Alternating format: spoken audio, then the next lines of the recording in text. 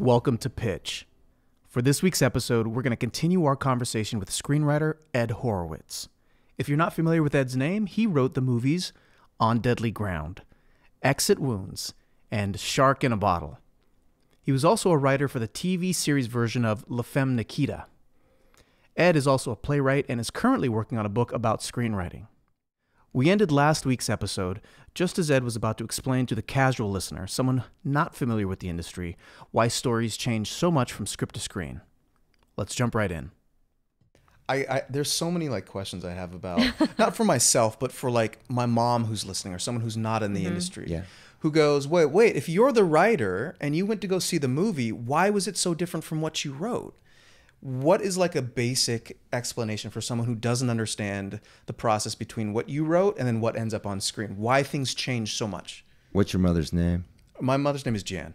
Jan. Jan, yeah. So Jan, you ever have a dinner party where you plan the menu, then your sister shows up and tells you you need more salt, and then your mom shows up and tells you that you need to put some sugar in it, and then Angel shows up and tells you that he's not eating meat anymore and he's not going to eat the chicken, so you got to make some fish.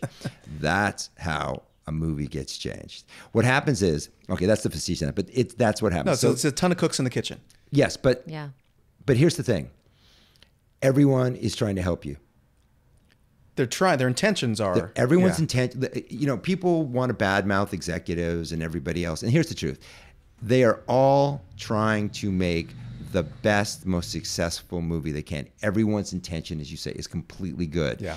But they all are trying to solve the problem from how they see it. And you know that old joke about um, the blind, the five blind men who find the elephant and they're trying Yeah. to figure out what it is? It's the same thing. So a producer comes in and he's trying to figure out how am I going to make the most money? The director's thinking, how am I going to make this the most visually astounding movie I could ever make? The writer's trying to figure out how am I going to create this story and tell the story with these characters? The actor's looking for the greatest moments that he or she can play. The line producer's trying to figure out how he's going to get it to come in under budget. And the studio's trying to figure out how they're going to market it.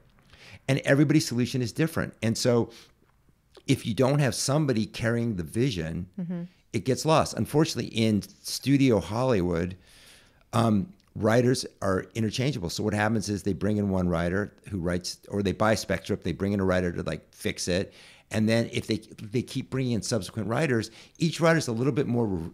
Re- removed from the story than the previous writer and gets more input from these other forces as to what it should be. And so everything kind of it's slowly it's mission creep. It just kind of creeps away. You know there, there's so many movies i've seen where i'm like oh i see where this started. Yeah, you know no because they because they do they just they lose focus. And it, it and then and then you get on set. And then the actor says i've got an idea and the studio knows that the act they need the actor to be happy to deliver the performance so they want to accommodate the actor's needs and so they try to incorporate those things and those things change and it just and so if you're fortunate enough to be writer through the process like you are on independent films like your movie leah mm-hmm. you know you can kind of push back and guide it but you've got to also incorporate those ideas because you've got to keep everybody invested all the stakeholders have to believe in the project. Or it, you if you're the rewrite person you try to really see through the notes to what i call the note behind the note. You yeah. know because everybody's everybody's trying to solve the same problems and um, everybody will give you advice. And neil gaiman uh, once said anyone who tells you what's wrong with your script is right. Anyone who tells you what's how to fix your script is wrong and um, the, my best version is uh, when i was in graduate school i the meanest most ornery teacher i ever had was a guy named Mike Gordon, and Mike Gordon had been a Broadway director, and he was a big director in um, a B movie director in Hollywood for years. And only later did I find out in life that he was he's the grandfather of uh, Joseph Gordon-Levitt, Oh. and he actually took Joseph Gordon-Levitt took Mike's last name just to honor his his legacy. I didn't know that. I Oh, that's found cool. that after the fact. cool. But um, but Mike pulled me aside when I was leaving, and he said. Uh, he said, listen, most people in this business don't know how to read a script. They'll read it, they're going to tell you what's wrong with it. They're going to be wrong. He said, but something makes it go, "Uh, I don't know. He goes, respect that itch. That itch, that problem is the thing that you need to understand and solve. So I call it the note behind the note. Like what, and in, what I tell my students is when somebody gives you notes and you get feedback that you don't want to, that you don't like or that makes you uncomfortable because it's not what you hope for, don't argue about it. Don't want to argue with them. Don't argue about it. Try to uh, get out of them what they expected because your script has created an expectation in them. And if it's not what you intended, this is where you've gone wrong. And so that's what I, I really strive to do. And I, I, there's a great example. So, um, my writing partner and I, we sold um, at the time, my writing partner at the time, and I sold um, on Deadly Ground. It was called The Rainbow Warrior. It was a spec script. And we went to the meetings at Warner Brothers, and the studio said, the bad guy needs a son. And my we left the meeting, and my writing partner was apoplectic because adding another character to this story would completely screw up everything. He was mm-hmm. 100% right. Uh, his wife was having a baby, so he I sort of said, "Look, just deal with that. You know, go have your baby, and um, I'll figure something out."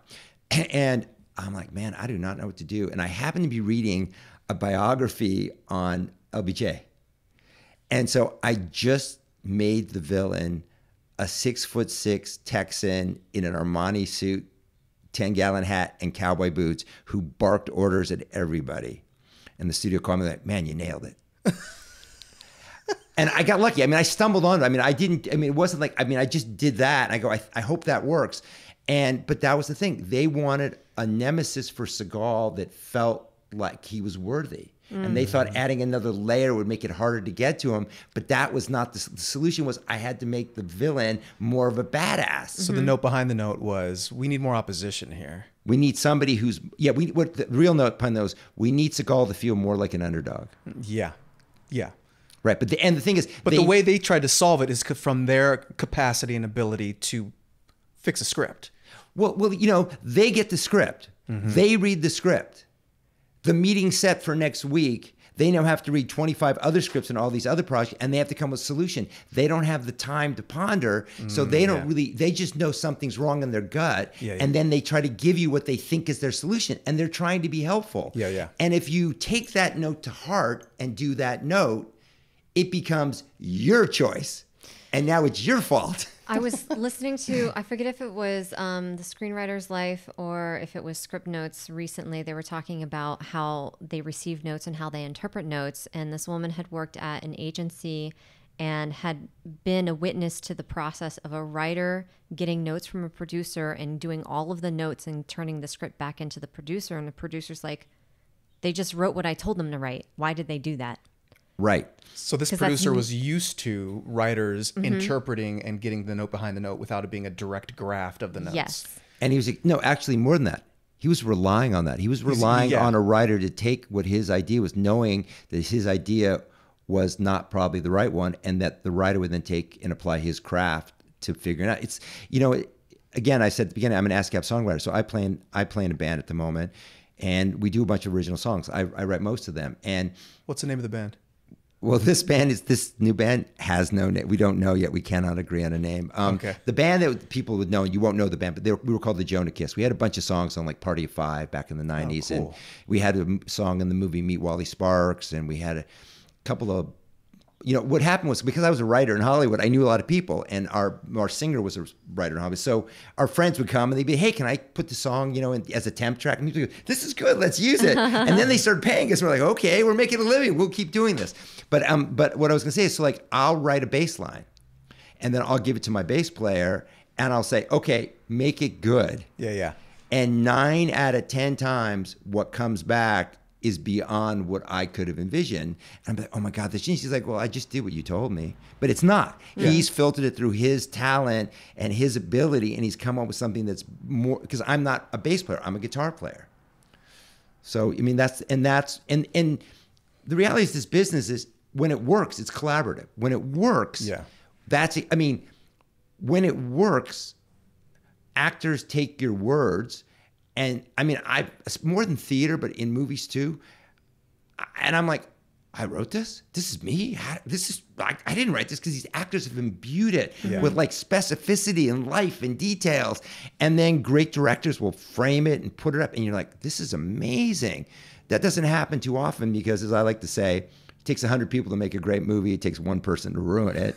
You know, I mean, all it takes is the craft services person to have real. salmonella. Yeah. You know, or to have the flu one day and, and the movie goes to shit. Yeah, And it's yeah. not everybody's fault. But so, you know, that's it. But theoretically, it is a collaborative. I mean, business. I mean, theater. Even if it's a one-person show, you need an audience. It's a collaboration. Yeah, you need to do previews. You need to get the feedback. You need to test, which is basically gauging an audience's like reaction to what you're doing. Yes, and you need an audience to watch it. Yeah, you're not just doing it in a vacuum. Yeah, acting alone in your room is not acting; it's delusion. That's some of the best acting on the planet, though, man. Some of the best acting on the planet has been done in front of a mirror without a camera or an audience there. Well, if you're doing it in front of a mirror, you are your own audience. Touche.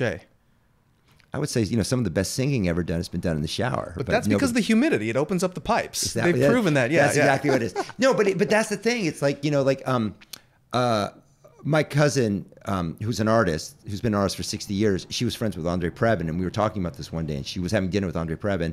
Um, people know me he's a famous violinist. Yeah, famous famous violinist back in the day. Um, she said, Andre, who's the most important pers- most important person in the audience? And he said, I mean, the most important person in the uh, orchestra. And he said, the audience, Yeah, because otherwise, who are you playing for?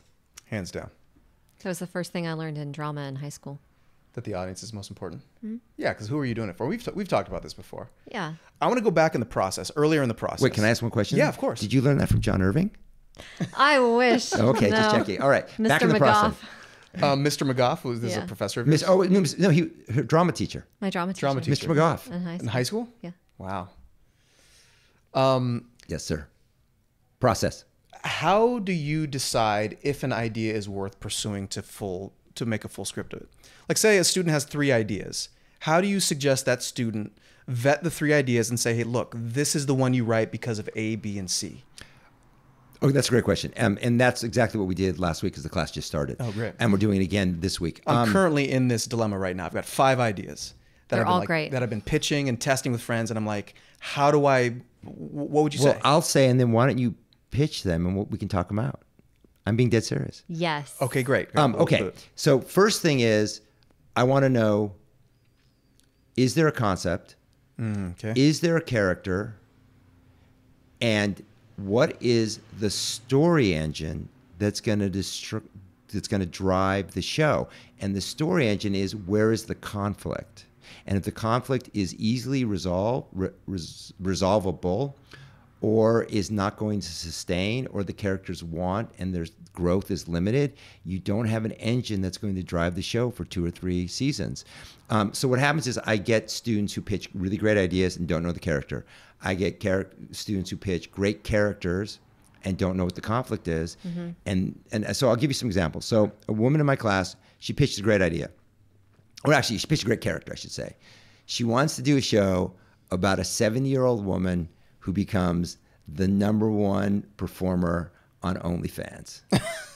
Okay. Instant laugh. Instant laugh. Instant laugh. And I said, What's the conflict? And the pitch was over. Yeah. And somebody in class said, What if she were a nun? There's now that, the conflict. That's not what the woman wants to do, but that's a show. Yep. See, you smile. There's the conflict. You can't see Angel just smile and Leah just smiled. You, you can feel it maybe in the podcast, but they, because now you see you see, okay, she's contradicting her own set of values. Yeah. There's going to be a reason why she's doing it. That's going to be for the convent or something. She's got to keep it a secret. There are stakes, personal and professional, and heavenly. Um, and it's ironic and funny. So that you know, so so I don't know where she's going to go. She's going to come back and figure that out next week. Um, another guy pitched the show. I want to real quick about that idea. So you haven't spoken about a real world like um, a real connection to the a connection to the world we currently live in as a part of this story creating matrix yet. But in that idea that you just talked about, that does exist because we are currently in the social media era where OnlyFans is this rising phenomenon, and now in this idea that you just talked about, there's potentially a nun who is the number one only right. So that so the us in the real world who are dealing with OnlyFans, TikTok, Instagram, we have a connection to that. So is that part of what you suggest your students say? What do you want to say about the world we live in today, or is that not necessarily part of what you're doing? No, that's a brilliant comment, and um, that is part of it. And I should have said that. No, I, one of the things I make them do is when they pitch their when they because they have to turn in their ideas for this next week. I make them write a sentence or two about why they want to tell this story and why this story should be told. That's key. Okay, and yeah, that's key. And you're right. And that's now there are two things. I, I should have said that, and you're completely right. And thank you for bringing that up. Um, yes, you've got to you've got to say something. Your show's got to say something because you've got to speak to the zeitgeist, and you know both commercially and just socially and globally. And the best shows do that in a unique way, and that is essential. And it's also got to be your point of view. You have to have a point of view as the writer, and you've got to have something to say. Otherwise, why should we care? Yeah, and that's that's the big question that I spoke with a writing mentor of mine, and he was like, "What do you want to say about the world?" Start with that, and then come up with a concept. So it's just an order of operations difference. Okay, that's that's a great note. Um, I agree. I often when people when people come in and they don't know what they want to write, I say, "Well, figure out what do you want to write about."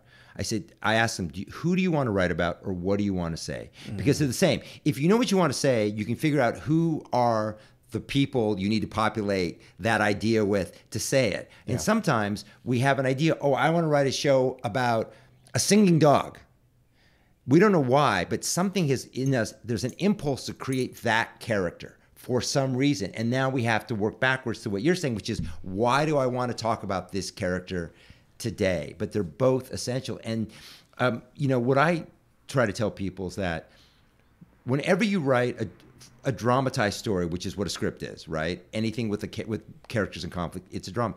It's essentially a formal argument you're writing a you're saying my main character represents a value set that I believe should exist in the world. This is my thesis for how the world should be.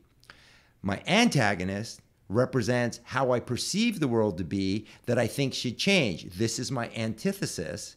And at the end, when there's a resolution to this story, we have the synthesis of how I wish the world were. And if you can figure that out, then you know what you can say, what you Well, want to say. well, let's figure out if Angel's figured it out.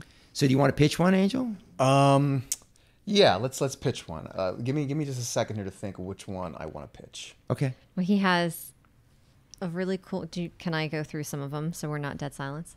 Well, I can just edit it out. The magic of technology. So okay, so here's here's I think the one that's the most primal, and it's also the newest idea I have. Okay. I always tell my students never apologize, never explain. Just tell me what it is. Also, and don't tell me, don't talk me into not liking it. Gotcha. So It's the rules of dating, also. so we've got we've got a we've got a strong history of pretty pretty powerful superheroes. Can I stop you, Angel? Yeah. Okay. When you pitch it, tell me a story. Okay. Do you have a title? I got a title. What's it called? All American Killer. All American Killer. Yeah. Ooh, ironic. I'm already interested. I'm being serious. I'm not being facetious. I'm All American Killer. Okay. All American Killer. What's the concept? The concept is that there is a Terminator esque figure, and there is no one to stop them. But there will be stereotypical heroes, traditional white savior types, who we think will be able to stop this individual. They will not. This one individual's, this all American killer, their plan is to go through and kill everyone on the planet one by one. Kind of like the Terminator. Kind of like No Country for Old Men. Okay, let me ask you some questions. Is this set in the future? No, it's set in like two months. Okay, so it's, it's the near future. So it's Yeah. it's like science faction. we'll yeah, yeah. We're not we're not years. We're Okay. Does this killer have an? Does he? Is it a he or she? It's a he, and It's he he, presents okay. initially as a shooter.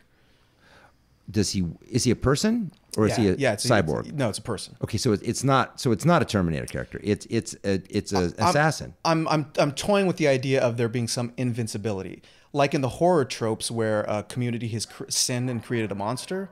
This would be the American community's monster that's come to life. Okay, you're you're. Th- this is all good, but you're thinking way outside the box in terms of the characters in the world, and Okay. I would advise you to think inside it. So, who's your main character? Um, I think the killer is my main character. So we are supposed to be rooting for a guy who's going to single-handedly kill everyone in the world. I think that's the that's the dump on the head of traditional horror films. Yeah. Why are we going to care about this character? And why are we going to root for this guy? I mean, that's a great question. I don't have that sorted out yet. Okay, well then you don't have a show because Sure. we have to be rooting for something. What are we rooting for? Are we rooting for people to stop him, or are we rooting for him to succeed? We're rooting. I, I think it's. I think, again, I'm still working out. I think we're rooting for the stereotypical heroes to step in and stop them. And every time they fail, it's another. It's another step closer to the realization that this is an unstoppable thing we've brought upon ourselves. What can we do then? Okay, so you've got a really interesting idea.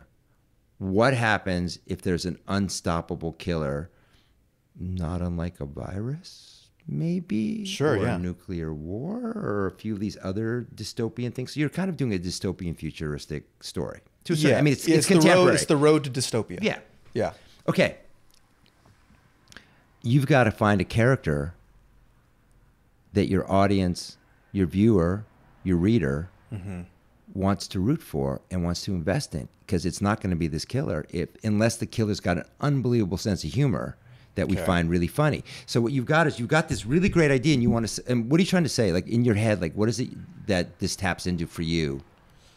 Um, I think we we've we've passed kind of a tipping point with humanity with how we're treating each other. So all we can, the best thing we can hope for now is to run and hide, and just to wait our turn.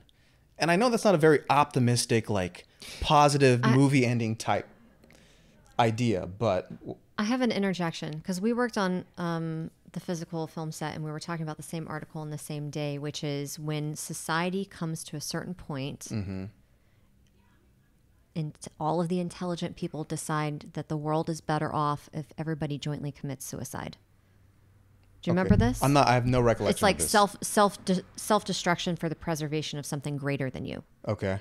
So what if this killer has come to that point, but nobody else is caught up to them, and so they force everybody else onto the value system that they have? I mean, I, that that seems like plausible. I, the where I'm at with this, and this is only a couple weeks old. This idea, I'm not necessarily trying to do a lot of mythology. Like it, mm. it's like kind of a visceral thing right now, right? Okay. Sorry, I didn't mean to cut you No, off. please, um, please, by all um, means. But here's the thing. Two things. One is it's a concept. Sure. It's yeah. not a show. Yeah. No, I'm thinking movie. I'm thinking movie, No, I was going to say, okay, well, we were talking about TV shows. I was going about to say it sounds like a close-ended story. Yeah. Yeah. Yeah. But how are you going to kill everyone in the world? I mean, that I mean, That's a slow march. I mean or or it's not or he's Putin. yeah. You know, and he Yeah, just yeah. is going to says screw, and he's going to start unloading weapons on the Ukraine and get the world into a nuclear war, and everybody's going to get wiped out. I mean, It's a much more difficult task if they don't have access to nuclear weapons. but okay, but there's so, but okay, but you know, you say you don't want to create a mythology, but you have to create a mythology that makes sense for why is this guy unstoppable? Like Yeah, utterly, yeah. un, like there's a lot of stuff. What you again, it's a really great idea, but you haven't found the humanity in the story yet. You haven't found the characters that are going to articulate the ideas you want to say. Because it's like if the thing is we just have to run and hide and wait until it's our turn, there's no conflict in that story. The story's got to be about somebody who wants if if, if your main if you're let's call him the main character for the moment. If your main character wants to just kill everybody, Yeah. the antagonist wants to live Yes. but your audience is then intuitively going to root for that person because wanting to live is the human condition. And that's fine. Right, but so that's your story. So how is your story not Terminator? And I don't mean that. I mean, which is No, one of my favorite is- movies of all time. Yes, but the greatest the line in that movie is, "Come with me if you want to live." And I don't. Th- I, I think that is an that is an innate human flaw, hope, and survival, and just like just the propagation of the species. I think that's a that's a biological drive that we've assigned meaning to that is causing our environment to break down and our ability to be sustained in that environment. And I think people, not enough people, are paying attention to that. So it's kind of like we're only going to die of our own arrogance, so we might as well take our time, but we're still going to become a damaged species as a result of our own actions. so we want to survive. Our stories want to have hope and we want to survive, but like I'm trying to figure out a way to dump that on its head and be like, Well, isn't that sort of The Last of Us? um, I haven't watched it and I'm not familiar with the, the TV show. Neither have I. I haven't either. I know so about we're- the fungus. The but everybody cordyceps, though. talks about it. But um, did you see Station Eleven? No, I didn't see. Did you see Silo? Silo? Didn't see Silo. No. I mean, these are all kind of these dystopian future things, and in them, it's always one person wants to like survive or know the truth, or mm-hmm. but and but I I think that I mean I I, I agree with everything you're sort of saying, but in, in the most you two are some dark individuals. I just want to add, you know, you're talking about what did you say? Everybody's going to kill themselves, like When society comes to a certain point, they realize it's it's a tipping point of if we continue Yeah. to survive, we destroy everything. So they jointly agree to commit suicide. But but the thing is, is that that is not the human condition What's not the human condition? To accept our mortality. It never has been. I know, and I want to say maybe some of us should. I had an argument with a guy. I had an argument with a guy, and he was like, "We should go to Mars." I was like, "Why should we go to Mars?" He goes, "Because we're fucking humans. We should populate the the the the, the cosmos." And I'm like, "We can't even manage the environment we developed in without polluting it to our detriment." And you think we deserve just by thinking that that we deserve to go to Mars and populate that planet? Well, I would argue that he should go to Mars. He's a great guy. He's pretty young, but I was like, this is the, this is the sort of like blind, like, well, we're humans, so of course we're we're never we can do no wrong. And I'm like, we can do wrong. We have done wrong. No one's stopping the wrongdoing. What cost do we have to pay? This is a manifestation of that Okay, cost. so okay, but so like, going back to your pitch, let's talk about that. So, but you're talking about two very human realities: humility and mm-hmm. hubris. yeah, So this guy represents hubris, and you're talking about people in a world that are all full of their own hubris, and they they think that they've got it figured out, and they're destroying the world. I mean, this is a perfect metaphor for what's going on right now. Yeah. Um, but the the flip side of that is somebody who fights that with humility, because you're you want what you're really saying behind your your facade of dark cynicism in those like you know you know soap opera pretty eyes of yours is um, Beautiful eyes. is um no is a belief you want to tell a story because you believe that the world should that people should strive to be better and should actually be humble and do things right so Yes. you need to articulate that but, but so, they have not. It is too late. It is. no no okay But yes, yes, yes, you're but- absolutely right, but yeah. okay but that's that's your story it's about somebody who's trying to save the planet and fighting against the inevitability that Mm-hmm. it's too late that's the human condition that's underneath your idea. And I'll give you two examples, one old and one new. You ever see Sil- uh, Silent Running? I think it's, yeah, Silent Running. No. Bruce Dern in like 1972 Okay. is on a spaceship. It's the last plot of Earth left. And he's got three guys, and they're like forest rangers. And the other three guys just run their ATVs and are trashing the ground. So he kills them. And then it's just him and his three little robots, Huey, Dewey, and Louie. And they are trying to preserve what's left of Earth. And then I can't remember exactly what happens, but they basically hit like a like a space storm, and they all die Okay. and it's about the last guy who wants to save the earth. 1972 very dark ending. You can do that. You can't do i mean you can do that today but it commercially nobody wants to make that. So there's Sure, a movie yeah. that's coming out. Oh it came out actually this week about a guy aging filled with humility trying to stop an inevitable faceless entity that wants to wipe out everything we know. It's called mission impossible it's about a guy with humility who's trying to save the world. And whether he can pull it off or not, we don't know because it's a two-parter. But you see, so the you're on an idea that's like that's tapping into the correct zeitgeist, Yeah. but you framed it from this intellectual idea Yeah, yeah. and didn't get into how can I tell this story in a way that will like connect for, on a human level with the audience. It's also I. I want to do the inverse of it though. But why? You want to do that only because you just want to like poke the bear. Sure. Yeah. But that, yeah, but but here's the thing, it's called show business, and Yeah. so you have to create an entity that's got commercial viability. So the key is to tell your story in a way that conveys your idea, yet is palatable and convincing to you know the audience. You know, on Deadly Ground, the Rainbow Warrior that that we wrote was about a guy who put out oil well fires in Alaska, and um, finds out that this oil company is going to build a, a well on the North Slope, and they know it's going to blow, but they need to get it up and running to get a completion deal that gives them 99 years of lease on the land. So like, fuck it, we'll blow it up. We'll have an oil spill. We'll clean it up. In 10 years from now, we'll still reap 80 years of, of benefits. Yeah, yeah. And we'll just destroy the North Slope of Alaska. And this guy tries to stop it, and they leave him for dead on the North Slope, and he's found by this group of atavistic Eskimos that are led by a guy who was on a bender and had this vision of the future. And this small band of of Inuit Native Alaskans are living the old ways, and they find him. And they think he's this mythic figure who's going to save the planet. To which he says, I don't care if you think I'm the Easter Bunny. I have to get back and deal with this. And then he ends up basically coming back and they stop the thing from blowing up.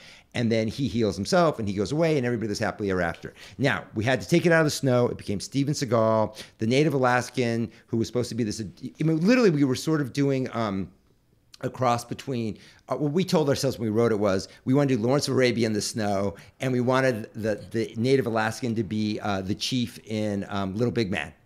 The one who says it's a good day to die. Yeah. And like all that got thrown out the window. They said take it out of the snow and make it Joan Chen because Seagal doesn't work with a partner. And so we did. But the thing is, and this the movie became this action nonsense that sort of lost its way. But at the end of the day, it's about a guy trying to stop an oil company from polluting the environment. So you can root for that. So you can tell your story and express the ideas and the values and the themes you want, but you have to you have to seduce your audience into eating that meal. You can't force it down their throats because we're in a subjective business. They Sure. won't watch it. Yeah. And that's the job. So the job is to be angry and then put a smile on it. And use the anger to motivate what you do, but you've got to sell it. I have two things. First thing is you didn't pitch the tone. You didn't pitch the tone of the show. So I think it's in my mind I can see it where the people that he's killing deserve to die and it's a high comedy because Okay. they're just awful human beings or it's just very very dark. And you discover that these people deserve to die by the drama that they bring onto themselves. Gotcha. But my second thing is we were going through what should you write next? Yeah. And so. I think Uh huh. if I'm your manager, Okay. that your indigenous script. Yeah, yeah. I don't know, and, and that's why I kept asking the question, like, how to determine what you write, because of Yeah. that one idea, I've got four others, and we're not going to get into it. But I'm like, which one do I? Which one do I spend the next six months on? Yeah, I would argue not that one. Fair enough. Only because I mean I would say keep thinking about it, but I think you Sure, need to yeah. turn around your head until you find your way into it. Yeah, yeah. Um, I want to say one other thing um, along with what Lee was saying. Scope. The scope of that's way too big. You can't kill everybody on the planet. It's just it, you can't do it in a you you can't do it in ten seasons. You know it needs to be much smaller. You know that could be a same idea about a handful of you know.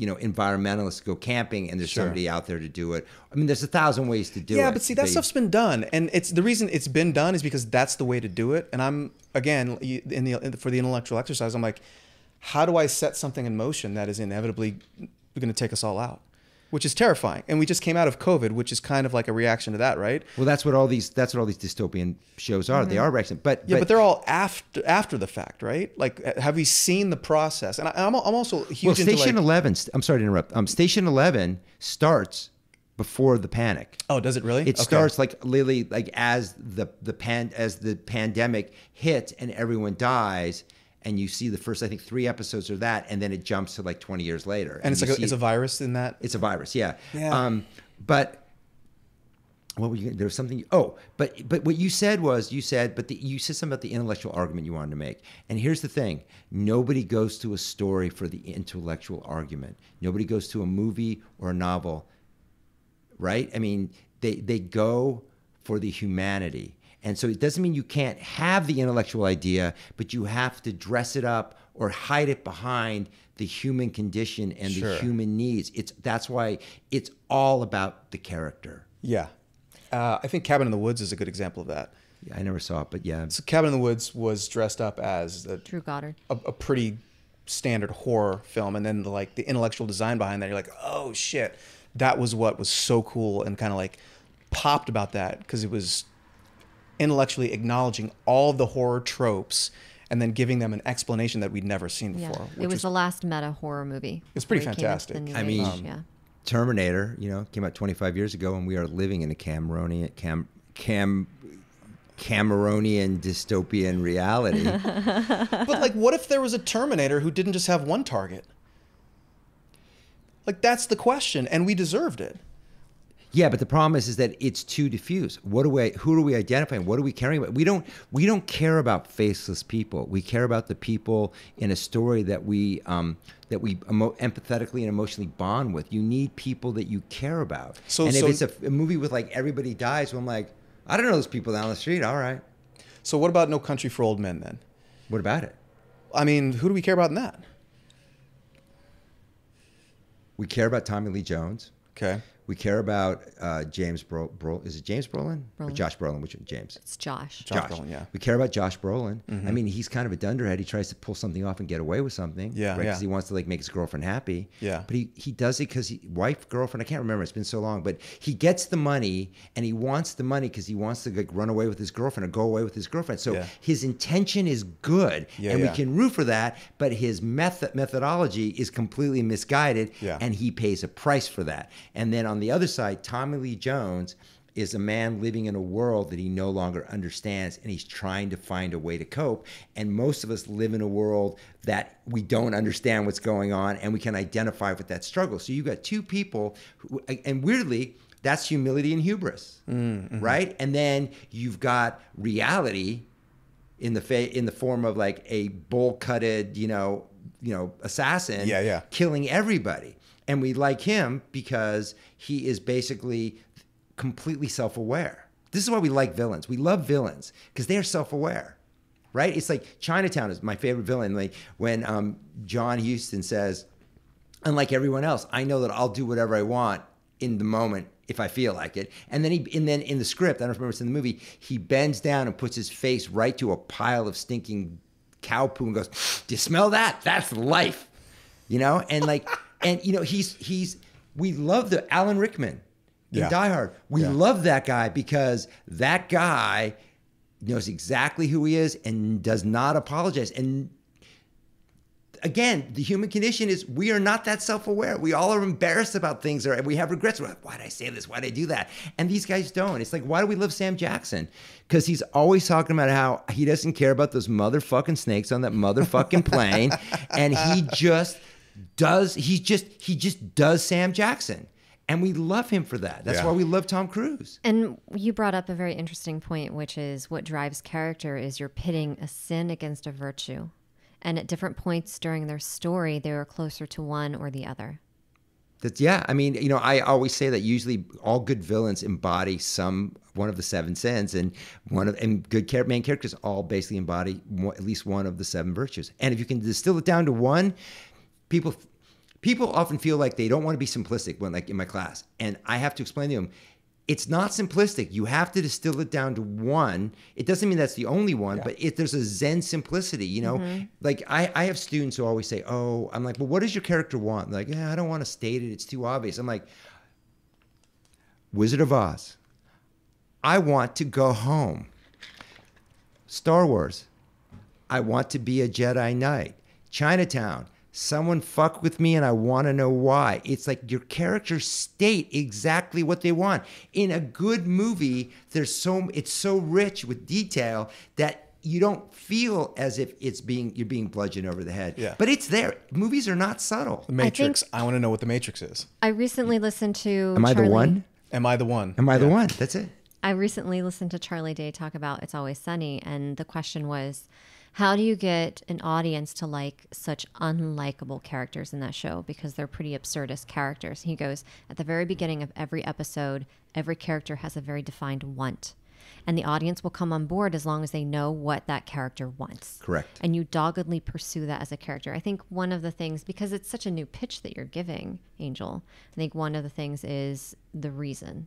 And that's missing. Yeah, and like I said, this is this idea is two weeks old versus Yeah, it's very ideas. fresh. No, Like, it's okay. you know, we're, we're not coming down there. I, it, there's there's definitely something in there, but you haven't found. I mean, uh, what I was gonna say is there's something that you haven't found. I, I wrote a, a horror movie about Yay. four or five years ago. Yeah, not you know, I'm not as skilled at it as others in the room. Um, I, I pitched a TV show to this company, and it was it was vet related. Okay. And um, veterinarian medicine or no, no, veteran vet military Okay. vet. It was a company that they're gone now. They were called um, uh, I can't remember the name of what they were called, but they were basically they were a, a film company. They were a streaming company that made content geared towards military and their families because that's like you know several million people in America. It's a huge audience. Yeah, huge. So um, I pitched a TV show, and they, they came back and they said, you know what? We don't really see it as a TV show. Would you write it as a movie? I'm like, yeah, but I'm not a horror guy. So we had a bunch of meetings, and I made a list of about 20 horror movies, and I went, I watched every one of them, and I broke them down because the thing, if you want to be a writer, you know, you know, you have to know structure. Yeah. And if you break down 20 movies in the same genre, you will see that the same kinds of things happen at the same point. So once I had that, I knew how to do it. And then we worked on it, we worked on it, and things were right and things were not. And um, I worked very closely with the, the, the head of development, and there was sort of the guy who was the president above him. And the president began to sort of lose interest, uh, lose faith in the idea. And um, the head of development said to me, he goes, one day, he goes, I don't think we have a movie here. And I said, no, we just haven't found it yet. And I said, let me do one more pass. And uh, I did the last pass, and he's like, yeah, you were right. Because, like, it's finding, you have to find your movie. Yeah. You know, this is what happens. People, you know, especially, and that's what I think people who make a living understand is like sometimes you have to do 35 drafts to find it if you believe in it. It goes back to your question of how do you know what movie to write? The way I do it is what am I compelled? It really comes down to what compels me. That's that it's that simple. If I work on an idea, like I like I have a play that I wrote three years ago, it got some interest, I got notes on it. I think I'm going to go back to it next week. I don't know. It's like it's been three years. I'm like, ah, because I haven't been able to either find my way into it or I'm not sure I want to. But with a feature it's, or TV show, it's when I, I really believe in the idea and I want to realize that idea. And producers, directors, actors, they will lose faith in it, but writers will stick with that idea. So Oh, it's yeah. like, so I mean, so the the lazy answer to your question is I write the thing that I can't not write because it's just there and I have to make sense out of this. I mean, I like I've written a, I wrote a pilot and like I have one friend, she's a TV producer. I've known her for 40 years, 45 years. She reads everything I write and she gives me the most honest feedback ever. And I wrote, she goes, "It's great. There's no story. You'll never sell it." and she wasn't right, but I was like, you know, she's not completely wrong. Okay, I got it out of my system. I'm good with that one. But then I had another script where I did that, and she gave me that same note, and I was writing, and I was like, I said to my partner on this, I, this one was with, I'm like, no, she's right, but we're gonna fix it. We're gonna find it, and we did, and we wrote like eight more drafts. And you know now we're on strike, but it's in some competition, and we actually got a note from some other person who read it. It was like, "This thing's amazing," but it's who knows if it's amazing. But the thing is, is that we did not let it die because we were compelled to find the real story in it. So that's how you decide. That's how I- I decide. I love that. That's I- that's super helpful. It's the thing you just keep coming back to. Yeah. Because the ones you're not compelled, you'll let fall by the wayside. yeah. I want to go back and just say thank you for sharing your idea and what I and agreeing to be on sort of a chopping block with it.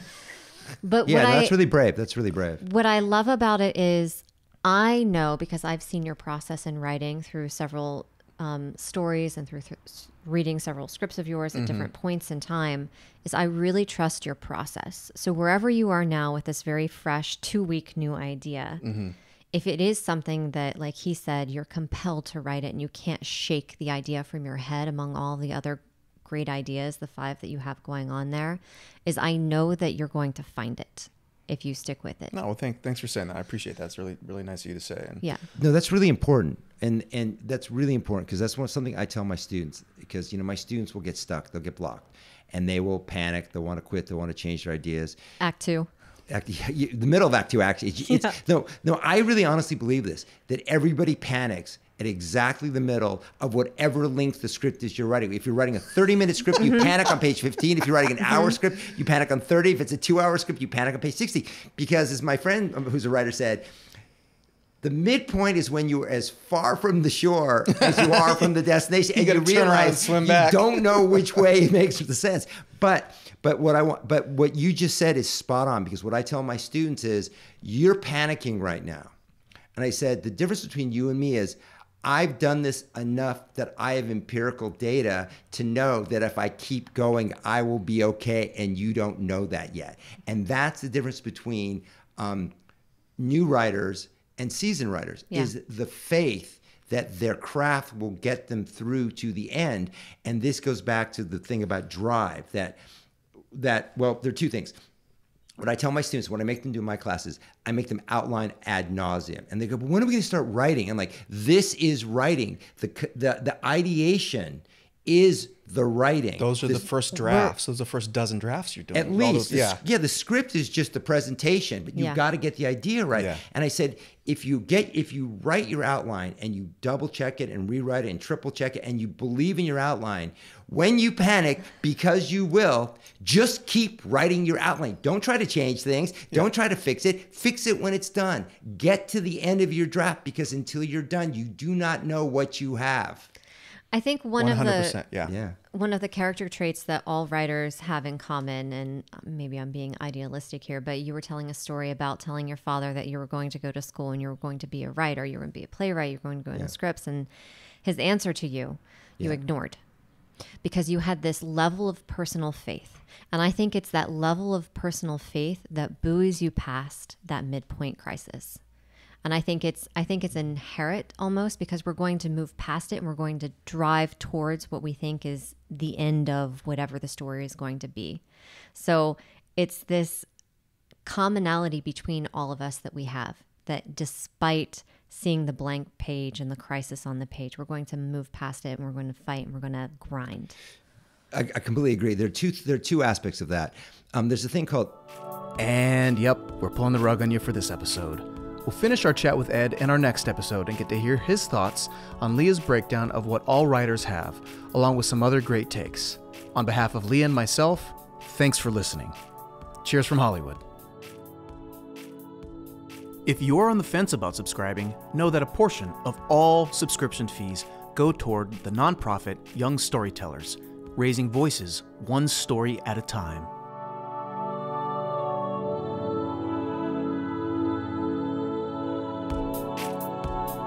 We here at Pitch support and stand in solidarity with the members of the WGA and everyone supporting their current fight for fair compensation and their rightful place in the future of film, television, and streaming content production.